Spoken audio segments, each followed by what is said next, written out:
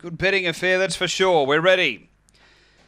And away, speed from Babylon Redeemer. It's headed early. Uh, Rhinestone Ashley came out running with Molly McBain. They match motors a couple away. Cambridge Bogan, five or six to Gangala Lodge. Have a go, Megsy. Babylon Redeemer, Magical Strike, and Kenzie. Real race on here. Molly McBain the inside. Cambridge Bogan behind it. Rhinestone Ashley still there. Molly McBain, Rhinestone Ashley, Cambridge Bogan.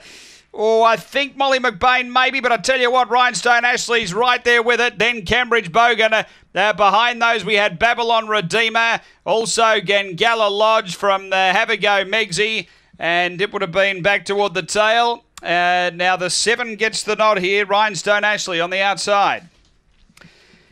Number seven, Rhinestone Ashley, Paul Bodsworth. Uh, owner trainer, a fawn bitch, September 2013. Kilty Lad, Pearls Bonnie, number seven. Uh, second, going to four, Molly McBain. Todd Kelly, a black bitch, February 2014. Kinloch Brae, Flame McBain. And uh, number eight, which is Cambridge Bogan, Paula Herndon, a black dog, February 2013, token Prince Boganesque. It's 7485 after race nine at Gawler.